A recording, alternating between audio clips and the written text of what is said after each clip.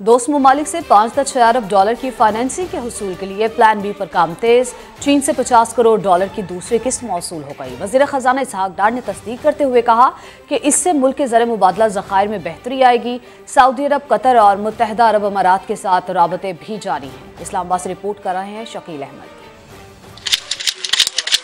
कर्ज प्रोग्राम बहाली के लिए आई एम एफ़ की शराइ के तहत दोस्त ममालिक से फाइनेंसिंग का मिशन हुकूमती कोशिशें रंग लाने लगी। चीन से मजीद पचास crore dollar state bank of Pakistan को मौसू भी हो गए। वज़ीर खजाना इसाक डार ने ट्विटर पैगाम में तस्दीक कर दी। चीनी बैंक ने पाकिस्तान के लिए एक अरब तीस करोड़ डॉलर की रिफाइनेंसिंग की मंजूरी दी थी। पचास करोड़ डॉलर पहले मिल चुके पचास करोड़ डॉलर अब मौसू हुए, जबकि मजीद तीस करोड़ डॉलर की तीसरी किस्त जल्द मिलने की तो है। वज़ीर खजाना के मुताबिक चीन से मिलने वाली रकम से मुल्क की जर मुबादला जखायर में बेहतरी आएगी।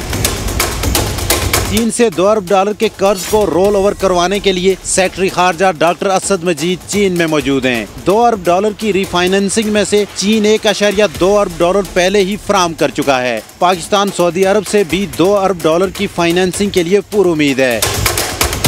हुकूमत दोस्त ममालिक से पाँच तक छह अरब डॉलर की अजाफी फाइनेंसिंग के असूल के लिए सफारती कोशिशें तेज कर चुकी है। इस हवाले से सऊदी अरब, कतर और मुतहदा अरब अमारात से रबते जारी हैं। आई एम एफ़ के साथ ताखिर का शिकार, स्टाफ लेवल माहे को जल्द हतमी शक्ल देने के लिए हुकूमत दोस्त ममालिक से तहरीरी यकीन दहानियाँ हासिल करेगी।